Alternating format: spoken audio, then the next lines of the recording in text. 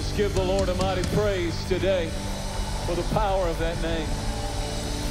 Wonderful Jesus. Wonderful Jesus. We honor you.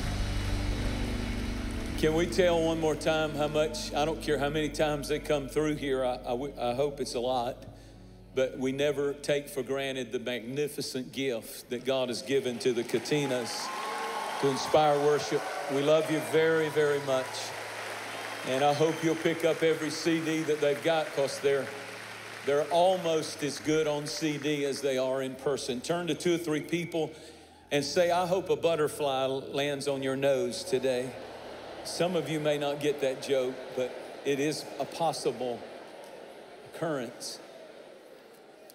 We released inside because weather didn't allow us to do it outside. We released 3,011 butterflies inside this room. And uh, some of them may be visiting you before the service is over, and that'll be all right. If you have your Bibles, you can open them with me to Psalms chapter 23, is where I want to start. While you're turning to Psalms chapter 23, it is going to be a magnificent week this week around here, particularly on Good Friday. Everything really kicks up. And, uh, and I'll be leading those services along with our team, Pastor Jonathan, and all the worship team. And uh, 12 o'clock at noon from 12 to 1 it's one of the most beautiful experiences of our whole year, Good Friday. And because of demand, we're going to offer it again that night at six o'clock. And you can be a part of the same service if you can't make it at 12. Then all day Saturday, you know what's happening. And then Sunday, all the opportunities. You can go to Lake Lanier and there will be a video message out there with a live band, or you can show up right out here in the amphitheater at, at sunrise, and I'll be out there with our team. Or you can come to the nine o'clock, you can come to the 11 o'clock and be an overflow if you want to, if you don't pick any of those others. So I encourage you to take advantage of all the opportunities. God, help us to exalt the Lamb like never before. I, I love Psalms 23. Do you? Let's all read it together. We're going to take a moment and read. It's a very short chapter with six verses. I want us to read it out loud together at every campus. We're so glad all of you are there joining us at wherever you are at our campuses today. Let's go. Everybody out loud. Let's read the Lord's Prayer. The Lord is my shepherd, I shall not want. He makes me to lie down in green pastures. He leads me beside still waters. He restores my soul. He leads me in the path of righteousness for his name's sake. Yea, though I walk through the valley of the shadow of death, I will fear no evil, for you are with me. Your rod and your staff, they comfort me. You prepare a table before me in the presence of my enemies. You anoint my head with oil. My cup runs over. Surely goodness and mercy shall follow me all the days of my life, and I will dwell in the house of the Lord forever. I want you to notice, particularly because that's what I'm preaching on this morning, verse 5. You prepare a table before me. That table that he prepares is the Lord's table, Holy Communion. And all that is in Holy Communion at the Lord's table under the new covenant that we're going to have together in just a moment is contained in the 23rd Psalm. The 23rd Psalm is the same table as the Lord's table. And I want to share with you today the power of the Lord's table the power of communion. When I come to the Lord's table, I need to approach it with a fresh appreciation. It must never become common. This table that is before me today, the Lord's table, the fruit of the vine, the bread, the Last Supper that Jesus had with his disciples, is so significant to our faith that I think if we're not careful, we will approach it in a common manner and it should not ever be approached without full revelation of what is involved in this meal.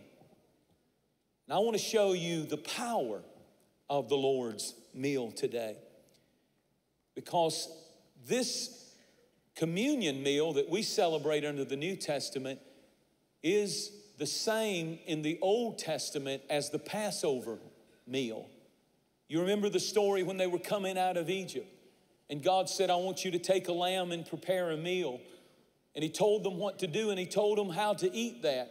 And He said, that that would cause deliverance to come to your family. It would cause deliverance from bondage and deliverance from sickness and disease. Miracles happen at the Passover meal under the old covenant, and Jesus, on the day of Passover in the New Testament, entered into the communion meal and he instituted the Lord's Supper, which was the Old Testament Passover meal. And if the Old Testament had that kind of power in it when they ate the meal, how much more does the one that we have today?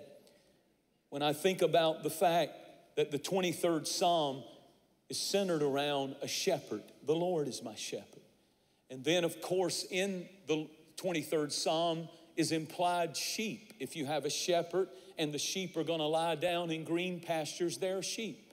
And when I think of the Lord's table, when he said, Thou preparest a table before my enemies, there's a shepherd, the great shepherd Jesus, who is always attracted to this table. This table cannot be partaken of without the shepherd's appearance. As a matter of fact, when they took the Passover meal, your Bible said that God moved down from through the mountains to the camp of Israel. There is something about the Lord's table that requires a bringing of a close presence of God. That's why sometimes you feel something when you do communion, and it's not just an emotion.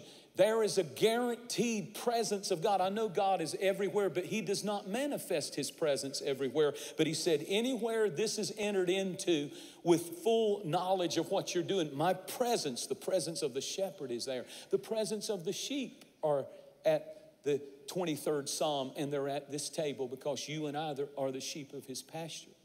Notice that in the 23rd Psalm, thou anointest my head with oil, and that has a reference to healing. And there is an anointing at this table for healing. In the Passover meal, the Bible said after they ate the meal, there was not a sick or feeble one among them when they left Egyptian bondage. Something that they ate in the meal, it became the meal that heals. And when we enter into this meal, there is an abiding healing anointing on this meal. Not only that, but in Psalms 23, there is a cup. My cup runneth over. And we have the cup of the wine of the New Testament. And not only was there a cup, but there is restoration. He restores my soul in Psalms 23. And this is a meal where God says, I restore things. This is the meal of restoration. And then he said, Goodness and mercy in Psalms 23 will follow me. And at this table is the goodness and the mercy of God. And here's the point when you partake of this meal with faith, it activates, that's a big word, it activates all of the promises of God. There were seven blessings that God told Israel He would put on them after they partook of the Passover meal. For example, he said things like, You'll have long life. He said, I'll send my angel before you. He said, I'll cause healing to come to you. He said, Prosperity would come on you and you will become fruitful. He said, If the enemies come at you one way, they will flee another because seven ways because you will be under my protection. That was under the Passover meal. But Jesus, on the day of Passover, purposely had the Last Supper with his disciples so he could institute this meal, the Lord's table, and all of those blessings are activated when we partake of this meal in faith. I want you to think about what I'm saying. The Passover meal came about, and you remember what God told them to do. He said, You are to slay a lamb for your house and he said, You are to take the blood of the lamb and you are to place it on the side post of your door, paint it with blood on the side post of the door and over the top post of the door. You are to have blood. So you would be covered in the blood. You would be surrounded by the blood. But he did not say put blood on the threshold because the blood is never to be trampled. And here's the power of this. And God said, And when my angel, the death angel, it was not a demon, it was an angel.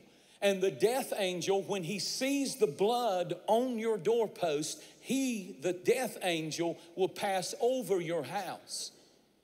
In other words, when you put this meal on you and in you, there is an application of the blood. The most powerful avenue of prayer, listen carefully, the most powerful avenue of prayer that you can ever learn to pray is when you approach heaven this way Father, I come in the name of Jesus and I plead the blood of the Lamb.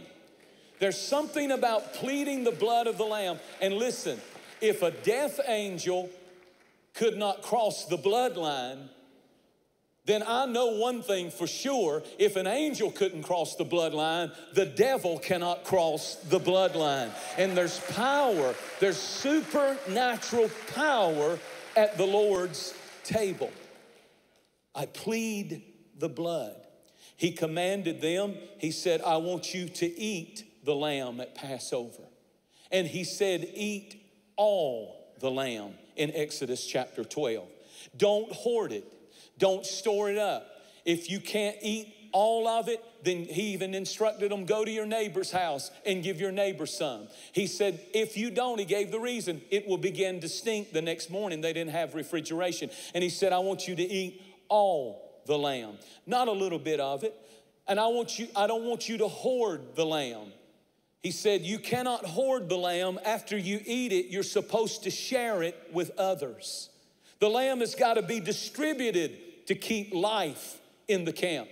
You want to know why so many churches stink?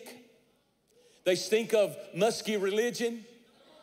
Is they're not distributing the lamb. They're hoarding the lamb. It's all about me, and there's nothing that's reaching out with the gospel. And the gospel is not just to be fed the lamb, but he said, after you eat it and after you're full of the lamb, you are supposed to share the lamb, distribute the lamb with somebody else. And then he says, Eat all of it. Notice that in Exodus 12. He said, Eat all of it, not bits and pieces. Some acknowledge Jesus as Savior, but they have not made him Lord. Savior's only found 33 times in the Bible, but Lord is found 400 times. And there's a difference between Savior and Lord. Savior means I've got fire insurance. I know I'm not going to hell, but He's not Lord of anything in my life. I do whatever I want to do, and I still have Him as my insurance blanket or my insurance clause. But listen to me if you want joy, He said, eat all of it. I don't just want him as Savior. I want him Lord of my life. I want the open doors and I want the closed doors. I want the yeses and I want the nos. I want the people he brings and I want the people he says are not good for me. And when you say, Jesus, this is not the Savior's table, it's called the Lord's table. And it's because he must be Lord. Eat it all. I don't just want salvation, I see baptism in the Holy Ghost on that table. I see deliverance from every addiction on that table. I see purity and integrity on that table. I see prosperity on that table. I see freedom on that table. And don't take bits and pieces of it, eat it all. Eat it all. Think about this the Lord's table, the communion meal, is the only thing of faith that we physically touch that we're told to physically touch. Every other thing in that Bible, he says you walk by faith, not by what you can see and touch. But when it comes to this table, God says there's something different about this table. It's the only place he makes active faith visible. I want you to come and I want you to hold the bread and touch the bread and it is a physical thing that you are touching that will activate these blessings when you partake of it. I want you to hold the cup. I want you to drink the fruit of the vine. And when you drink it, I want you to understand what you are touching and what you are seeing. Every other thing you walk by faith. But this is a moment when your faith actually is to be connected to physical things that you can see that represent his blood and his body. And really, what he's saying is just as the, I was the word in the beginning and the Word became flesh, blood and flesh, and dwelled among us. When you take this meal, you are re, you're, he is being reincarnated in you through the blood through the body. And the only jesus that people see is the one who comes through you. And you are to expect when you eat this bread which is my body and you drink this wine which represents my blood then you are Christ is being reborn, re, reincarnated. I'm not afraid of that word because that's really what he wants. The Bible said, Your epistles read of all men. Your friends will never read this book, but they're reading you and you're supposed to be projecting Jesus. And he said, I want you to physically take me in so that I will project out of you wherever you go. Say amen, somebody. I want you to think about this. It was a joy, joyous celebration, very joyful celebration. It was so joyful that in First Corinthians chapter 11, the Apostle Paul had to tell them to tone it down. They were getting so excited about communion. We act like it's just a ritual, we act like as though it's just something common. But when they heard they were having the communion meal, in the New Testament church, they went berserk, and some of them went to the extreme, and they were having so much fun at the Lord's Supper that Paul had to go. 1 Corinthians 11 is nothing but, but Paul correcting the extremities of the church. He said, You're speaking in tongues, and that's great, and that's a gift from God, but now you're starting to get up in church and confuse people with it by preaching in tongues and all of this. And he had to set it in order because they had gone to the extreme. And then he turns from that to the communion table. He said, By the way, I wanted you when I taught you, it was supposed to be, a, when they heard it was communion, oh, it was fun, it was uplifting, it was joyful. But then they went to the extreme. Some of them started getting drunk and really getting wild. That's in your Bible. But the, don't, don't throw the baby out with the bathwater. This is a joyful meal. This is where, when we come to the Lord's table, He says, I'm about to activate goodness and mercy to follow you. I'm about to cause your cup to run over. I'm about to pronounce blessings over you that will cause you to walk in my favor and my covenant and my victory like you've never done before. And so I want you to get up about it. I want you to get excited about it. I want you to get joyful about it because anything can happen at the Lord's table.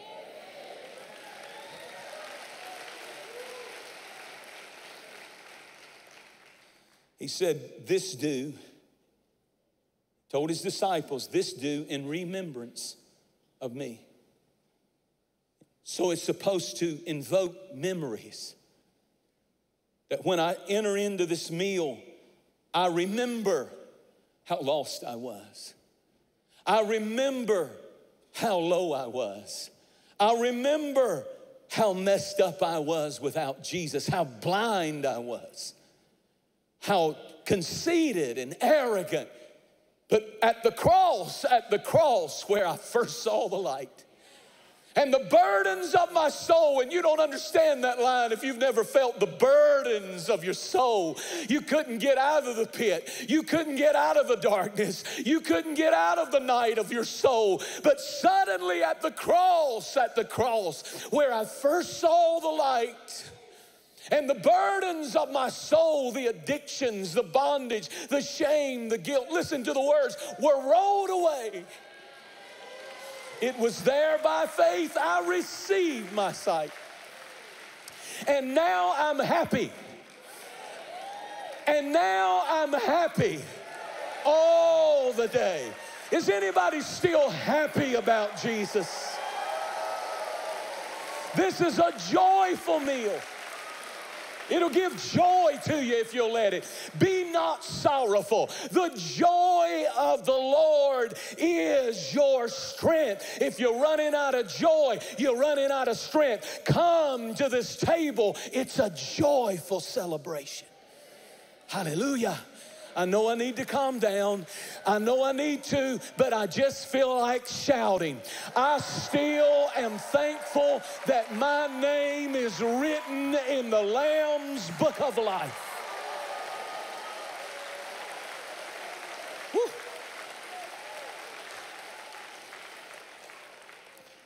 When Jesus told his disciples in Matthew 26, he said, I want you to on, it says these words, just to point it out again, he said on the first day of the feast of unleavened bread, which is Passover, the disciples came to Jesus and said, Where do you want us to have Passover? And he said, You're to go to a certain city and you'll see a certain, you'll go to Jerusalem, you'll see a certain man on the street.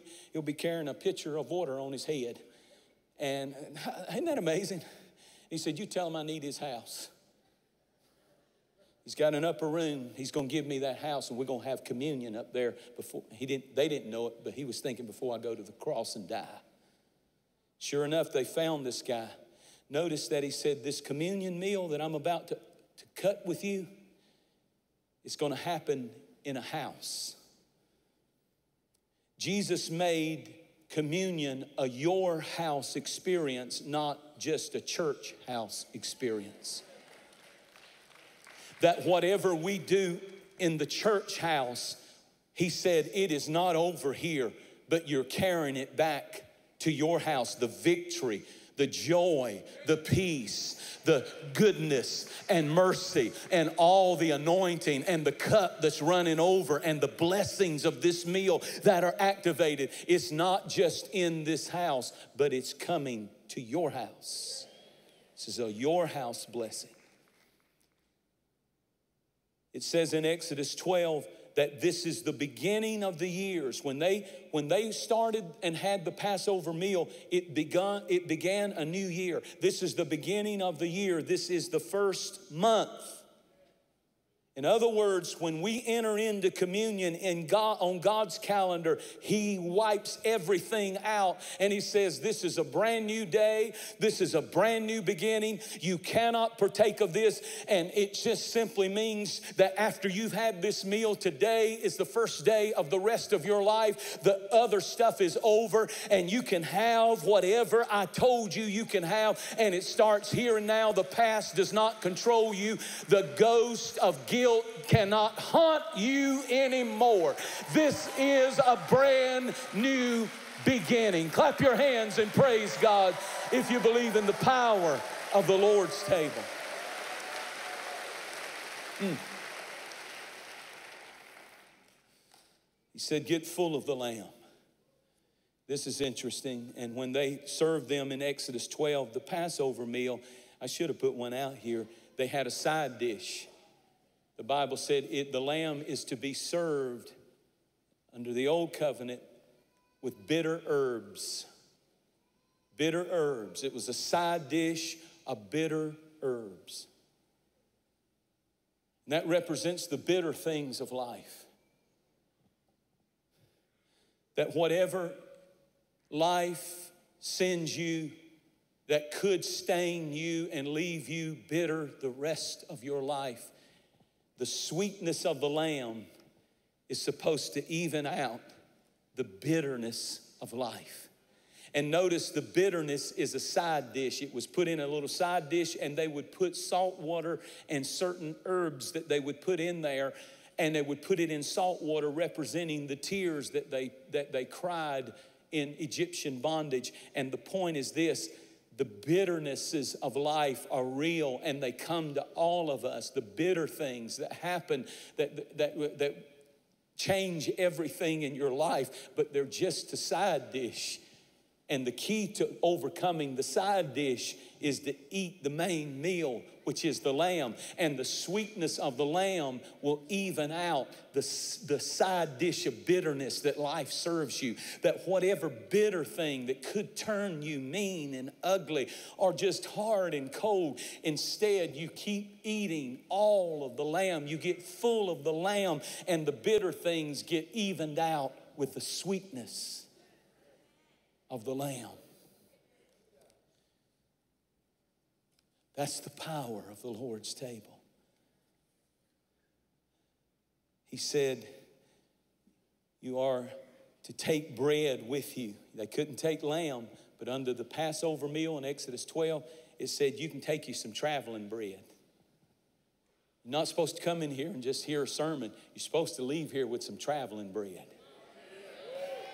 And if the devil comes knocking this week, you open the door and you got one of these ready and say, It is written. Bam. Traveling bread. I'm so glad I got traveling bread. Wherever I go, I'm never alone. Whatever I face, I'm never at, at, at, at, a point of exhaustion and being overcome. I got too much bread with me. I picked up a word from the Lord, and like Gideon's little, you know, Gideon in the, the dream that the man had in the Midianite camp that Gideon overheard, he said, I had a nightmare. And the guy said, What did you hear? And Gideon was listening in. He said, I saw a piece of bread rolling down the hill. It's called Wonder Bread. And it was, it was rolling down the hill, and it hit our camp and it wiped us out. And the guy said, That's the sword of Gideon. But I can't help but think that if we have the bread, just a crumb got one woman's healed, one woman's child healed from demons, but we've got the whole loaf in Jesus. And he says, Don't just get a blessing on Sunday, but take some traveling bread with you. Somebody take a praise break and I'll keep preaching.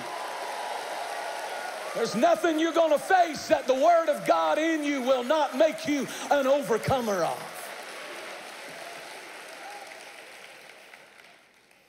Hallelujah.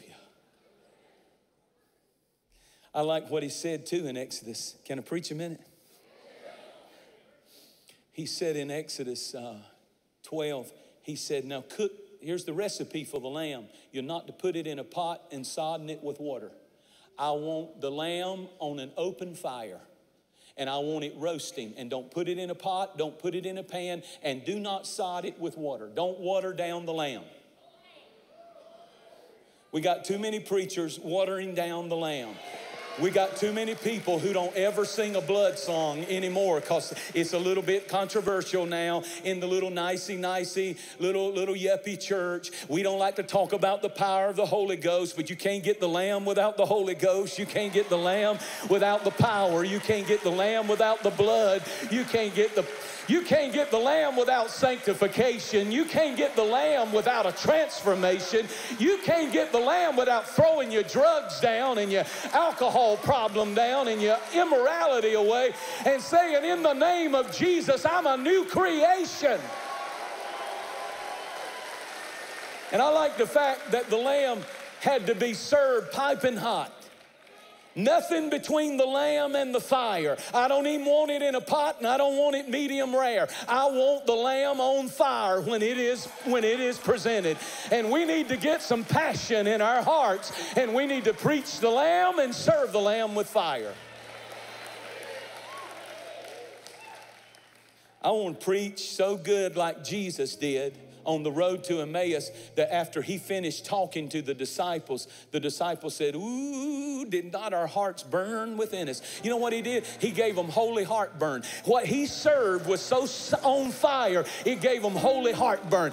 I don't want you to go home and take a nap. I want you to go home and say, My God, I've been living beneath my covenant. I don't need to be afraid. I don't need to be worried. I don't need to be wondering if God's got a plan and a path to success and wholeness for my life. He does. It's at the Lord's table. Sit down, sit down. Now, I have trained all of our musicians that at 30 minutes after I preach to come out and play keyboards. They know to do that no matter how good I'm preaching. They come out and it's and it's false hope for you. Just telling you straight up. Psychological manipulation.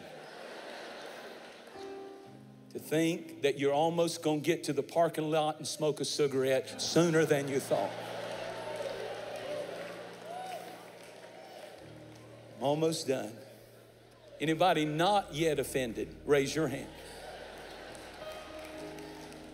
I'm enjoying preaching on Jesus this morning. Now, listen to this. He said in Exodus chapter 12, he said, he said, Now there's going to come generations on down the road who weren't there at the Passover when you came out of Egypt. And the children are going to ask, What does this meal mean? He said, You are to you are to take them back and teach them how you were brought out at this meal. This is a generational meal. I want families to have this meal together. Listen to this. And Jesus said the powerful thing right here. As often as you do this, you do this in remembrance of me. Now, watch this. The opposite of the word remember is dismember. Dismember means to be pulled apart. So if there is anything that has happened in the family that was united and one, one together, and maybe a disagreement happened and there is a dismembering. When you come to this table, there is a supernatural power to remember what has been dismembered. whatever disagreements, whatever things that have hit your family that are tearing your marriage apart, tearing your family apart, tearing your relationships that you care so much apart. He says, when you come to my table, there is a mysterious power on this meal that it can take things that are dismembered and it can remember them.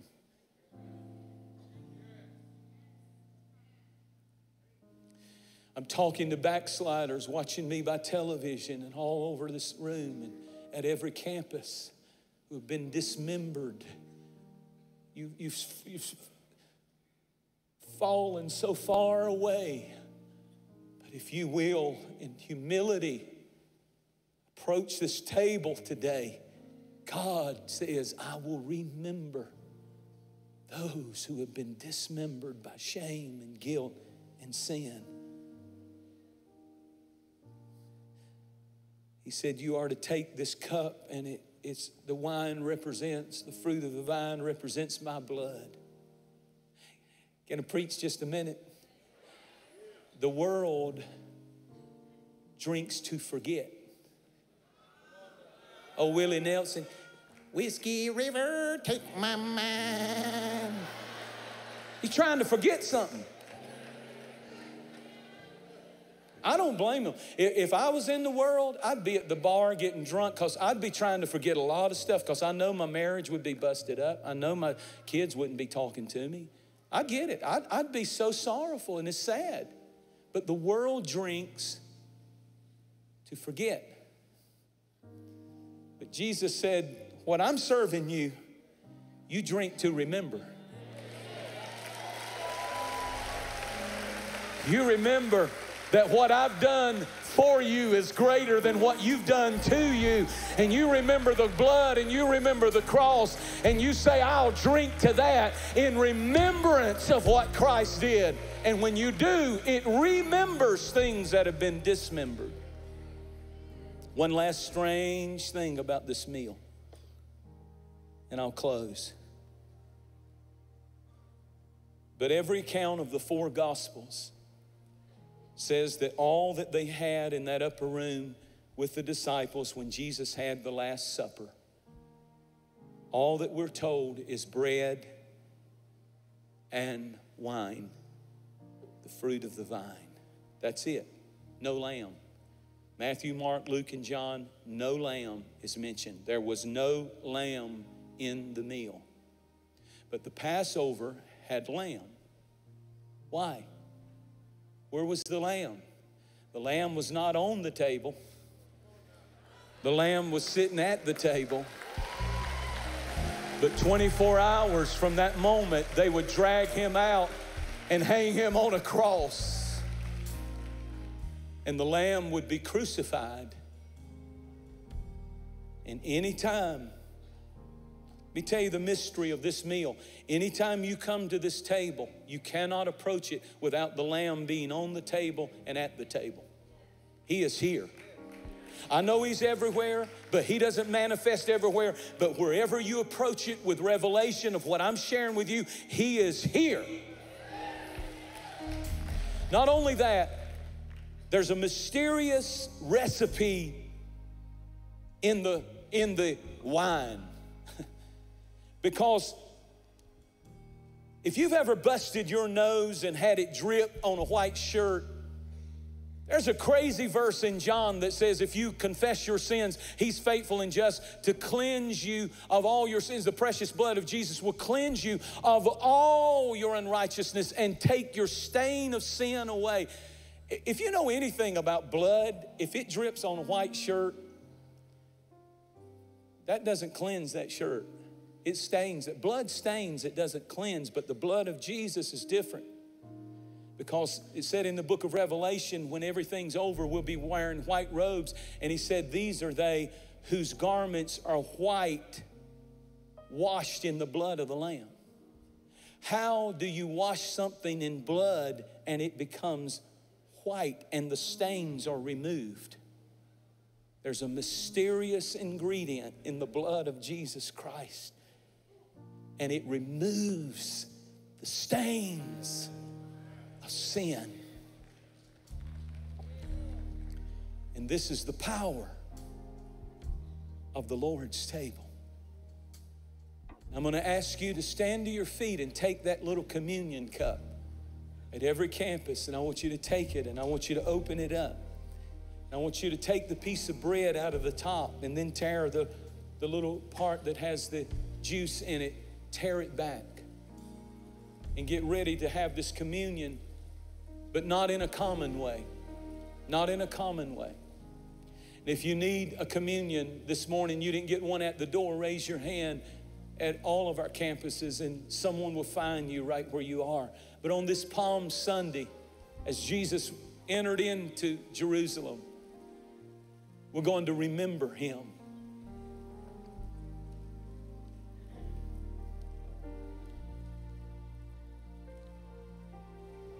And I want you to know that this is the Lord's table. Look at that bread for a moment. It's just flat bread. It's just, it has no yeast in it. That's because He doesn't want you puffed up with pride when you come to this table. Puffed up with yourself. Humble yourself. As a matter of fact, I want to I want to read this. I love the old blood songs. What can wash away my sin? Nothing but the blood of Jesus. What can make me whole again?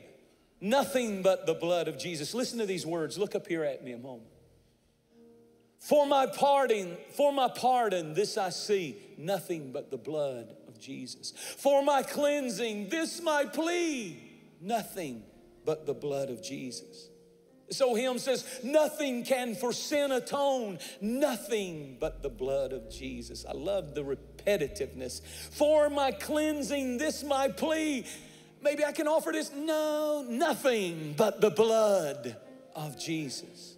Nothing can for sin atone, nothing but the blood of Jesus. Not of good that I have done, nothing but the blood of Jesus. Now by this I'll overcome, nothing but the blood of Jesus. Now by this I'll reach my home, nothing but the blood of Jesus. Glory, glory, this I sing nothing but the blood of Jesus. All my praise for this I bring, nothing isn't that some theology right there? Nothing, come on, say it with me, nothing but the blood of Jesus. Take the bread. This is my body, which is broken for you. Take, eat, this do in remembrance of me, and receive all the promises of God activated. Goodness and mercy will follow you home in your house this week. Take it and receive it in Jesus' name. Then he said, I had communion in the first service, and I don't want to do it commonly. But I'm going to take a big gulp of this. He said, This is my blood, which is shed for you, the remission of sin. Take, drink. He did say, Drink all of it, but I'm not going to do that. But he said, Drink. This do in remembrance of me. Put the blood on the doorposts. It's a generational blessing.